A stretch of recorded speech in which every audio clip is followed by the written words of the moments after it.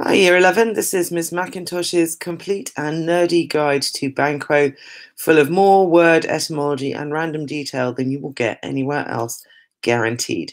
So let's go to the all important information you'll notice that I'm lying. It's not a musical. Although, if any of you would like to make it into a musical, please do. It is, however, a complete and genius guide to being a complete genius about Banquo. So here's the basics. He's in Act 1 um, up to Act 3, Scene 3, after which he dies. That's the one where he's murdered by not one, not two, but three murderers.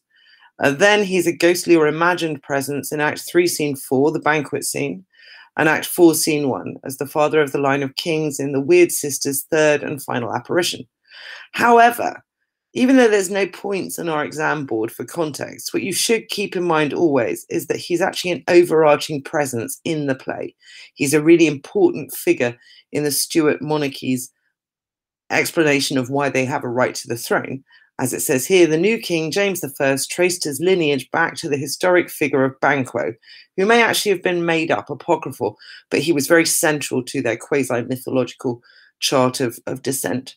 Shakespeare, Shakespeare's audience would therefore see him from Act One as the rightful father of the English and Scottish thrones. So he doesn't play that kind of role on stage. He's not part of the jockeying for kingship, except that Shakespeare's audience knows Shakespeare, specifically performing this play in the court of King James, knows that his audience sees Banquo as the original and best. His core dramatic function, aside from that one, which is really important contextual and meaningful function, is as a foil to Macbeth. Right? So a foil, I've got a definition here, and it's on every page thereafter because you really cannot get this wrong. In literature, a foil is a character that has characteristics that oppose another character, usually the protagonist. The foil character may be completely opposite to the protagonist or very similar, but with one key difference. The foil character is used to highlight some particular quality or qualities of the main character. So the foil isn't the antagonist, the protagonist person that they're versus throughout. That would be Macduff in this play, wouldn't it? Right? The foil specifically exists so that we can understand Macbeth more by seeing how Banquo is not like him. If Macbeth does one thing, Banquo is doing something else entirely, and we can that way see an awful lot more about Macbeth and about things which turn out to be choices which might have seemed inevitable without Banquo next to him. Uh, now I'm going to go through pretty much line by line um, of Banquo's appearances. I get bored somewhere in Act Three and stop when it's just him talking to murderers. But every single one of his lines has a lot of interesting things to do with it. So, very first appearance with Macbeth is just through description. The sergeant's been dragged in from the field. He's bleeding from his wounds. King Duncan wants to know about these two heroes on the field. Dismayed not this, our captains Man- Macbeth and Banquo, right? And the sergeant says, Yes, as sparrows, eagles, or the hare, the lion.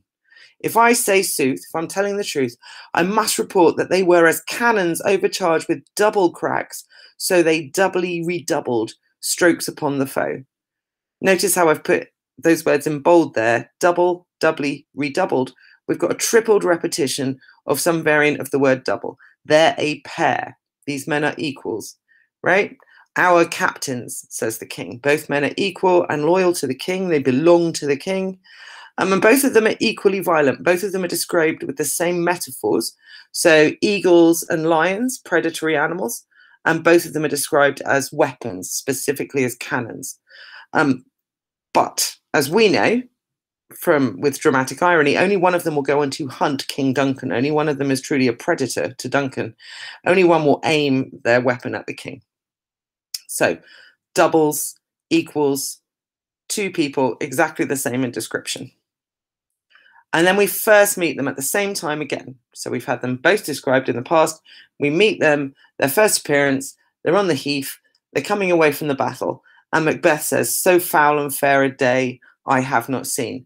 Now, we, the audience, and the carefully attentive Year 11 readers know that he's evoking there the language of the witches from Act 1, Scene 1. So we know immediately that he's associated with them somehow, that there is something uncanny about Macbeth, or that certainly he's tuned into that language of the supernatural. Banquo, however, says, How far is it called to Forres? Right? how far are we? Where are we going? How far are we on our journey? So what I've written here is Macbeth's first line is a wary declarative about the weather. He's attuned to the atmosphere. Banquo's first line is a question about the progress of their journey, and he will make questions throughout this scene and throughout his role in the play. He's a man who questions, a man who, of action, but a man who sees through appearances, questions the nature of reality. And here, Macbeth talking about the weather, Banquo, where are we going? And then the witches have appeared. What are these so withered and so wild in their attire that look not like the inhabitants of the earth and yet are on it? Question one. Live you? Question two. Or are you aught that man may question? Question three. You seem to understand me by each at once her chappy finger laying upon her skinny lips. You should be women, and yet your beards forbid me to interpret that you are so. Macbeth, speak if you can. What are you? So Banquo asks a series of interrogatives as soon as the weird sisters appear. He's interrogating their nature. He's interrogating them. He wants to know what's going on. Some productions of this um, make that quite laugh out loud funny when he's mocking them because he shows no respect to them. We've got these strange supernatural creatures appear, and he points out that they've got beards. He he um, mocks their femininity. It's quite misogynist moment in a way, undercutting their power. Contrast that to the way Macbeth respects female power, is really overawed by female power throughout the play. Um, Macbeth demands if they speak, speak if you can. What are you? So he immediately wants an answer. Banquo wants to know what they are. And then, you know, of course, we get All Hail Macbeth. And then our next big speech from Banquo, he reacts to Macbeth's prediction. Good sir, why do you start and seem to fear things that do sound so fair? Banquo is keenly aware of Macbeth's reactions. For the rest of this scene and the next couple, he's going to be telling the audience or um, other characters on stage how Macbeth is acting. Because Macbeth, as he'll do increasingly throughout the play, um, abstracts out on stage. It's not that he's having asides and soliloquies and the rest of the audience don't know what's going on. Macbeth is having almost seizure absences, right? He's staring, his hair's standing on end. He's he's confused and and deranged. Think of the banquet scene where um, Lady Macbeth has to essentially invent this history of epilepsy to explain why it is that he's acting this way. Um, so Banquo looking around, observing. Think of him as a detective, right? And then another series of interrogatives challenging the witches, right? In the name of truth, are you fantastical, or that indeed which outwardly you show? Question one. My noble partner you greet with present grace and great prediction of noble having and of royal hope that he seems rapt withal. To me you speak not. If you can look into the seeds of time and see which grain will grow and which will not, speak then to me, who neither beg nor fear your favors nor your hate right? He uses an imperative to command them to speak, makes it clear he has no vested interest in their answer. So that contrasts with Macbeth's, you know, what are you? Speak to me. And here, that seeds of time image will be instantly evocative to his audience. And we'll see that again and again and again if you can look into the seeds of time. Because Banquo's seed will end up being James the First. Think forward to Act Four, where we have the apparition of Banquo's seed, line after line after line of them, ending in king after king after king. That those are the seeds of time. We're we're going to see seeds again, um, being spoken from from a king's mouth in in a couple of scenes. And then the prediction that they give to Banquo: lesser than Macbeth and greater, not so happy, yet much happier. Thou shalt get kings, though thou be none. So all hail Macbeth and Banquo. And then the next switch says, Banquo and Macbeth all hail. So here they're paired constantly but contrasted. It's an oxymoronic system. You're you're not as happy and yet you're happier. Right? It's an uncanny parallel, an uncanny comparison. It seems illogical and irrational, and yet it's telling the truth, which ties us into our, our theme of equivocation, where they tell the truth but don't seem like it's so. And here, what I find most interesting, perhaps, is the inversion of their names from one witch to the other, all hail Mac- Macbeth and Banquo, Banquo Macbeth, all hail. Um, there's a moment in Hamlet where um, the king and queen say to Rosencrantz and Guildenstern, Thanks, Rosencrantz and Guildenstern. Thanks, Guildenstern and Rosencrantz. And it's a way of showing that they are equally held and equally esteemed by the court. Um, and here, the fact that their names can be inverted that way shows again that they're a pair, but they're different, they're contrasted definition of foil there on the page, so you can keep going back to that. Then we have the witches disappear, Banquo and Macbeth react. The earth hath bubbles as the water has, and these are of them. Whither have they vanished? Into the air. See, ended with a question mark there. Into the air, and what seemed corporal melted as breath into the wind. Would they had stayed, says Macbeth, who wishes that they had stayed. Right? Not asking questions, not questioning reality, instead wishing they'd say more. Banquo, were such things here as we do speak about? Another question. Or have we eaten on the insane root that takes the reason prisoner? Banquo is unwilling to accept the evidence of his senses, right? When I say he's applying the scientific method here, it's actually, this is kind of nerdy extra, he's sort of presaging here um, Discourse on Method by Descartes, who in his famous summary, which many of you will have heard of, I think, therefore I am, cogito ergo sum, goes through and proves how the evidence of all of his senses can be tricked by taking drugs, by being tired. Maybe he's asleep, right? We can't use our senses to prove anything because our senses can be confused in a variety of ways. What we do rely on, what we can rely on, is our thinking. This is Descartes' argument. And this is what Banquo is doing. He's applying logic, he's applying thought, he's questioning what's going on. Are we drugged, eaten on the insane root? Have we just had a vision?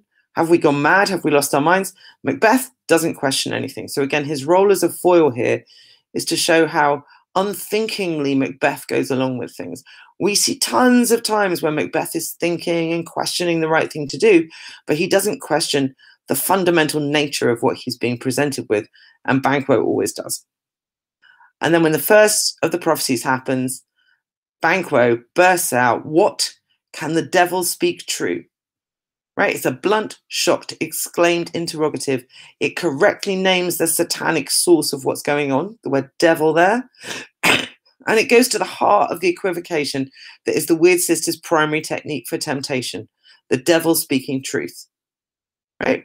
So Macbeth staggered, and we know his hair stands on end, and he instantly thinks, oh, you know, starts having those visions of what he should do to murder Duncan. But Banquo immediately questions the nature of the truth of the people who've told them the truth.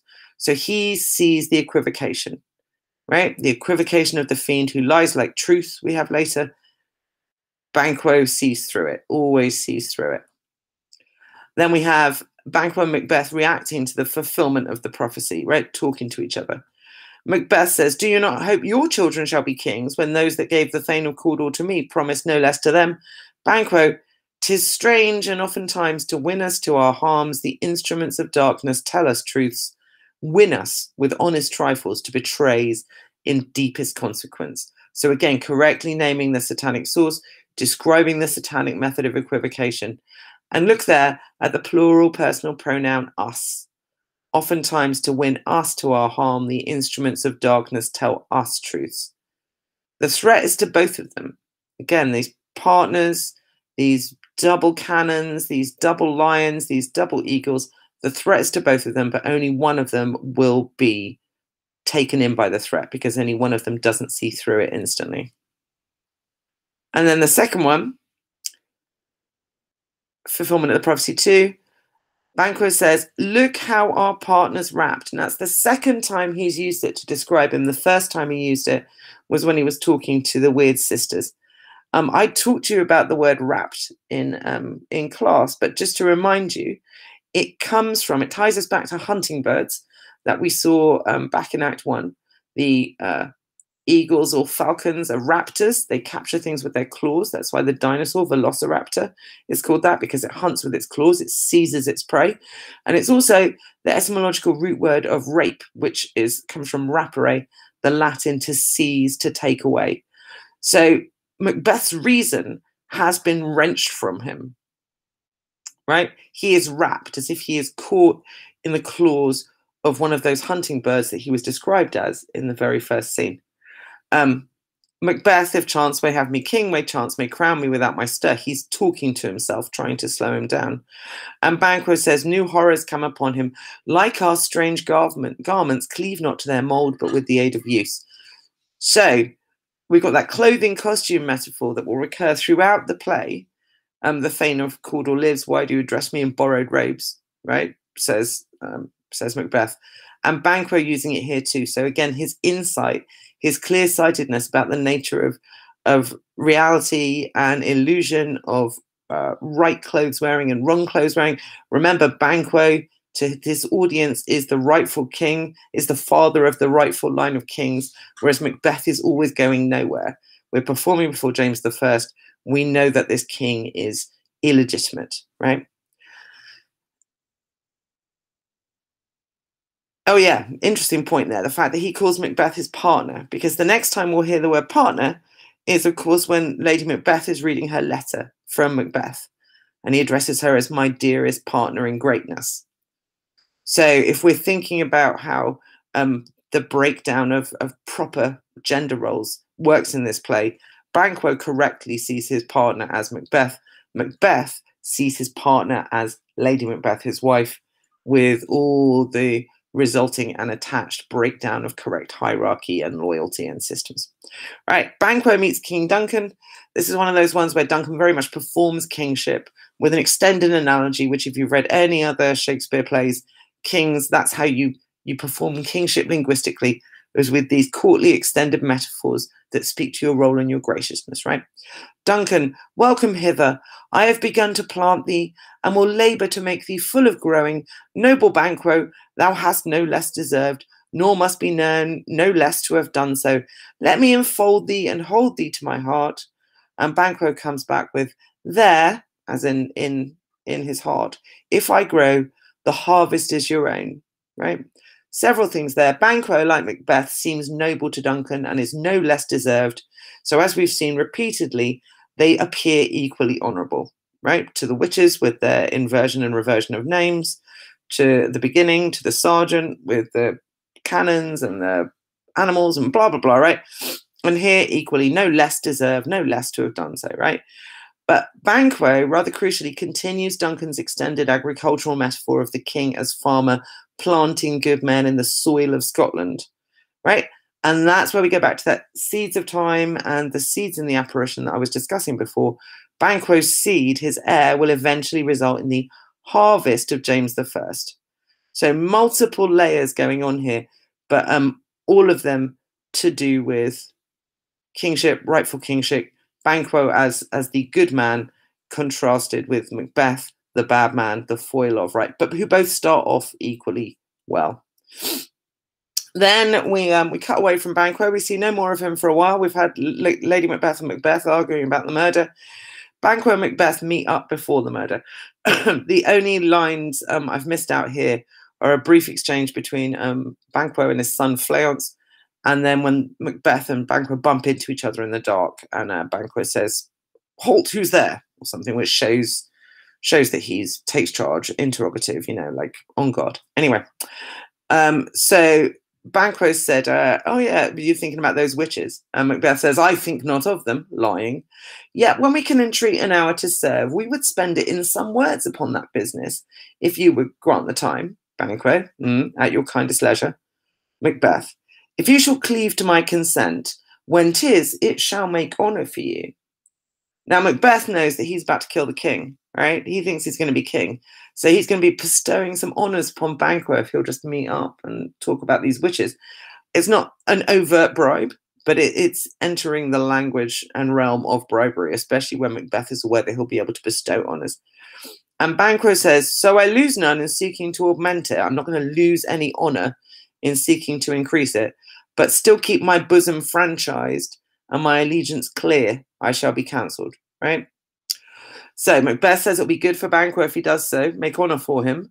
Banquo says he'll only do what Macbeth says if he can keep his bosom franchised and allegiance clear, if he can stay free of guilt and loyalty to the king. Right? Banquo does not equivocate. His loyalties are quite literally clear.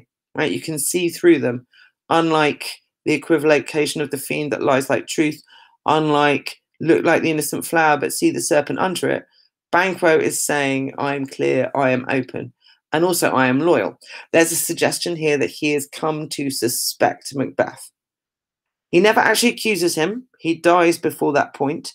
Um, so some critics or, or some interpretations have said that it's not entirely clear that Banquo is really a good guy in this, in the same way that Macduff is. But that's not really Banquo's job in this play, is it? The job here is to show a man given the same temptations as Macbeth who does not take them, show a man who questions reality, who questions the devil, who remains loyal, and fundamentally, who exists to father the line of kings that will go on to be James the First. So Banquo, after the murder of Duncan, is when we really see him become suspicious. Banquo says, look to the lady, which really, you know, in some interpretations of the play could be the explanation of the whole play, right? Look to the lady, it's all her fault. So she's carried out with her fainting or not fainting, depends on how you, you perform that. When we have our naked frailties hid that suffer an exposure, let us meet and question this most bloody piece of work to know it further. Fears and scruples shake us, in the great hand of God I stand, and thence against the undivulged pretence I fight of treason malice. As when he met the witches, Banquo sees evil immediately and is suspicious, doesn't fall for it for a minute. Just as when he interrogated the weird sisters, so he says they must question this most bloody piece of work. He never falls for appearances, ever. He sets up a binary opposition and declares his loyalty to one side the hand of God versus treasonous malice. So it's time to choose sides at this point. Right the way along, Banquo has been brilliant at detecting evil. Remember, all that language, the semantic field of Satan and the devil, used it from the beginning. No questions, no hesitation, no confusion. Um, and here too, now he's like, I will stand in the hand of God against pretense, right? Uh, then next time we see Banquo, Macbeth has been crowned. And we see Banquo doing a soliloquy. Everyone has to do a soliloquy at some. And in the soliloquy, he's talking to his former partner, but it's part of the soliloquy. He's not really talking to Macbeth, right? So um, again, former partner, former buddy, former double, fellow, you know, fellows all together, but now completely different. Thou hast it now, King, Cawdor, Glamis all, as the weird women promised, and I fear thou played most foully for it.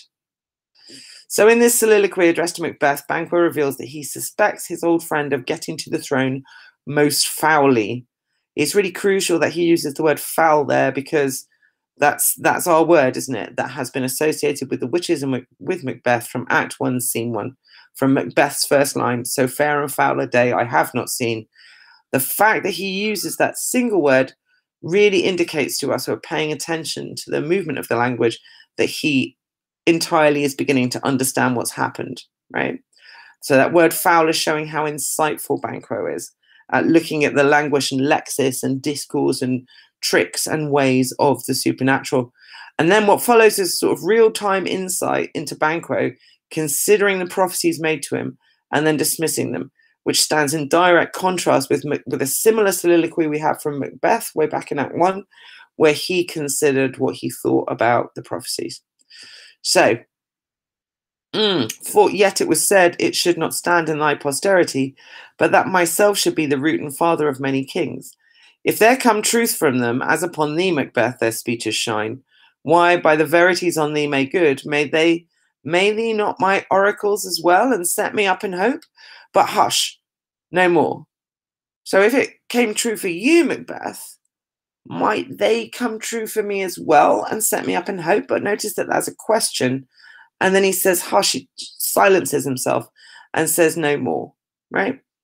So again, you can argue, definition of foil there again, that we're seeing two different, two men who looked so similar reacting so differently. We get to see the interior workings of their mind as they consider this piece of equivocation, this lie that is simultaneously the truth, right? And he does the right thing, which is unsurprising if you consider that this was actually staged for James the First, whose great, great, great, whatever granddad Banquo allegedly is.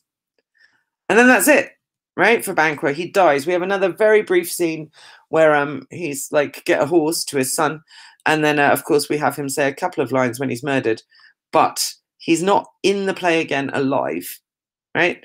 So we have post mortem Banquo and we're going to watch both of those in a second. One of them is from the Goold adaptation with Patrick Stewart. One of them is from the Polanski adaptation from 1971. Um, but don't forget that he's never left the stage because he's always there as um, as James the First progenitor, as the father of the Stuart kings, as the man who gives them the right to have the kings of England. So he always stays there as sort of father of the kingdom. But um, yeah, that's it for now. We're going to watch those two adaptations and then talk about a little bit of this more. That didn't make any sense, did it? There you go. All right, thank you, year 11.